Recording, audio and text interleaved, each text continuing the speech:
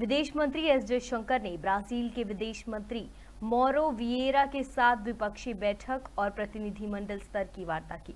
दोनों दिग्गजों के बीच हुई इस बैठक में सकारात्मक चर्चाएँ हुई। दोनों मंत्रियों ने भारत की अध्यक्षता में पिछले वर्ष के शिखर सम्मेलन से जी ट्वेंटी की मुख्य उपलब्धियों को आगे बढ़ाने की तारीखों पर चर्चा की।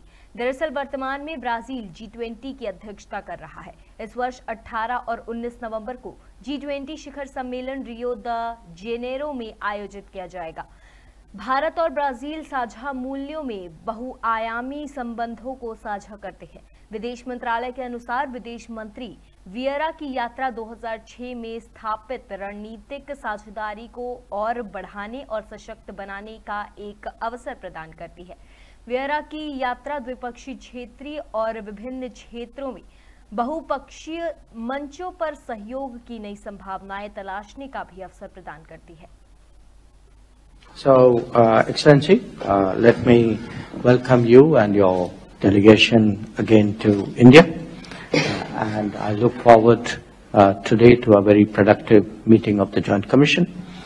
Uh, let me also begin by congratulating Brazil for conducting the G20 meeting successfully uh, and also on the first ministerial consensus document realized during the G20 Development Working Group ministerial meeting.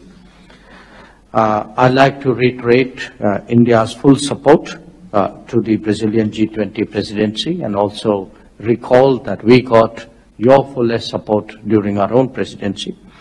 Uh, we appreciate various unique initiatives centered on the theme of building a just world and a sustainable planet. Our strategic partnership, which was established in 2006, has deepened and diversified over the years.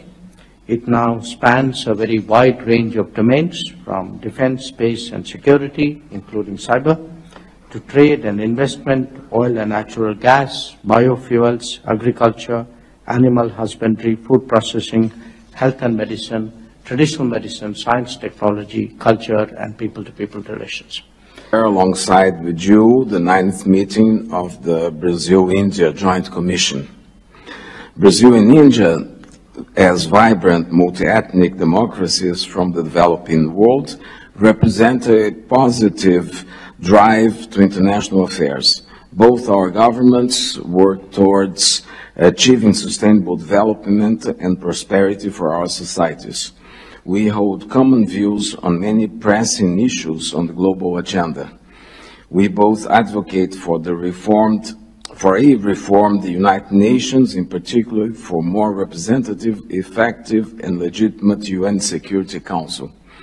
We also uh, we are also close partners in international arrangements such as IBSA, BRICS, G20, G4, and BASIC.